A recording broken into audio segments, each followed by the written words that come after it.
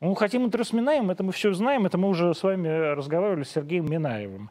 Могу рассказать, что произошло сегодня с YouTube. Я сегодня проснулся утром э, в 8 утра э, и посмотрел статистику вчерашнего эфира и понял, что вчерашний эфир, который был э, с председателем коллекторского агентства, этой самой палаты коллекторской, до сих пор не загрузился. И не загрузился он по вине YouTube. То есть YouTube перестал вообще физически э, обслуживать нас. После того, как мы э, несколько раз, причем не несколько, это не два и не три, а там раз двадцать, обратились в YouTube с апелляциями наших, э, так сказать, рекламных кампаний.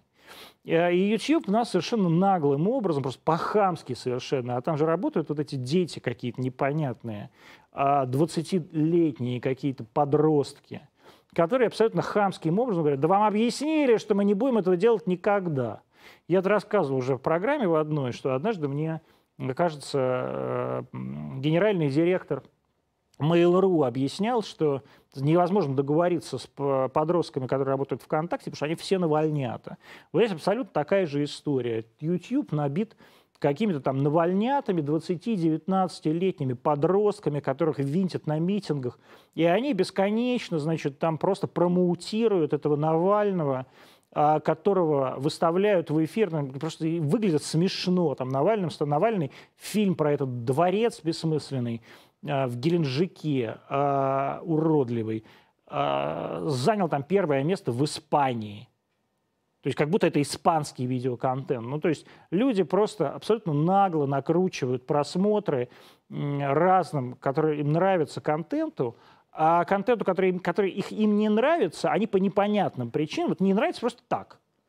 А они пессимизируют, то есть они не выдают даже в поиске. Вот, например, у нас есть а самая главная сейчас претензия к Арти Россия, не Арти, вот, а вот Арти Россия, то, что я возглавляю, это то, что, а что это у вас контент такой не за путинский. Вас, вас специально создали для того, чтобы оправдывать путинский кровавый режим. Вы специально существуете для этого, поэтому у вас какой-то странный контент. Вы что-то не пойми, то ли вы за власть, то ли вы за против.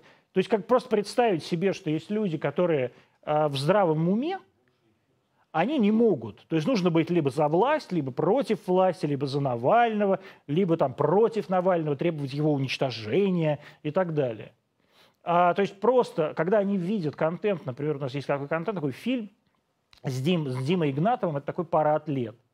А, и вот они его видят и видят, что это хорошее кино абсолютно для западного телевидения снято. Вот сейчас показывают там Арти э, на английском языке, и оно уже там номинировано, кажется, на Эми там в следующем году. Так вот, у нас в российском YouTube 1800 просмотров, потому что его э, YouTube русский просто пессимизировал а, до мышей. То есть его нет, его не существует, его ни, никак, ни в какой выкладке не было никогда. И это как бы не проблема контента. Я вот сегодня включил YouTube просто посмотреть. А там, а, значит, как, как уже старая, уродливая, значит, женщина лет 80 с каким-то пожилым тоже журналистом обсуждают, как Путин всех отравит. И там прямо вот написано, Путин там никогда вам не простит или что-то. Это радио «Свобода», а, какая-то женщина, которая работала еще, когда Петр Вайль, там, я не знаю, был мальчиком на, этой радио, на этом радио «Свобода». Когда там еще, э, не знаю, Иосиф Бродский еще из, из России не эмигрировал, она уже на радио «Свобода» была заведующим отделом под очисткой. И вот эта женщина, значит, там Путин отравит Россию, ну все как мы любим. И раз там уже прямо номер там такой-то на, на вкладке в тренде. Но это никто не смотрит, вы поймите. То есть это как бы добровольно смотреть никто не будет. А, и тем не менее, это все в тренде, потому что YouTube это повышает, повышает моментально. И я посмотрел про параллельно, то есть вот идет у тебя там трансляция в YouTube, прямая трансляция прямого эфира Андрея Малахова, а, или там как это называется у них, а, и там 5000 одновременных, одновременных зрителей. 5000 в пике.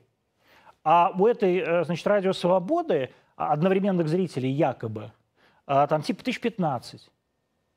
И это, конечно, абсолютная чушь, потому что завтра вы посмотрите цифры э, прямого эфира и посмотрите, что там миллион на самом деле реальный. А у этого радио «Свобода» такая останется 100 тысяч. Но зато она сразу выложена на э, вкладке в тренде, и я абсолютно утверждаю, что это делается ручками русским YouTube. И мы много раз это проверяли на себе. То есть мы видели, как физически уничтожают просмотры, скручивают просмотр. Такой просыпаешься, а у тебя реальные твои просмотры прям скручены э, ручками, и тебе говорят, нет, ну просто ну, так получилось, просто вы же наливаете боты.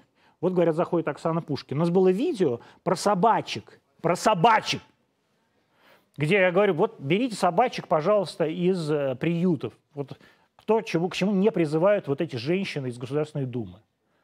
А, и вот это, это, это видео собрало, там было несколько там, сотен репостов у меня просто в Фейсбуке. И э, видео собрал там 13 тысяч просмотров. Тут же взяли и скрутили 10 тысяч. Почему скрутили 10 тысяч, ну, совершенно непонятно. И в итоге просто я перестал, я просто, меня, меня утром так взбесило, что я действительно написал руководителю Роскомнадзор письмо. Потому что я просто больше не могу это все терпеть. Меня это абсолютно вымораживает. Я смотрю на это и думаю, господи, ну что же вы такое делаете? Но тем не менее, мы сейчас в прямом эфире, э, мы в прямом эфире на Рутюбе, мы тестируем эту возможность. Заходите, Оксана Викторовна, заходите. Здравствуйте. Здравствуйте. А, хотя вот говорят, что тестовая трансляция на Рутюбе что-то опять не идет. Ну ничего, она пойдет. Мы в прямом эфире на YouTube по-прежнему. Э, пока он э, работает в Российской Федерации, мы будем, мы будем э, это делать. Мы в прямом эфире Фейсбука и ВКонтакте Арте на русском, и мы в прямом эфире кабельного канала Артедок. РТД. Так что мы на всех площадках, на которых мы можем эфирить, это суммарная аудитория, там несколько миллионов.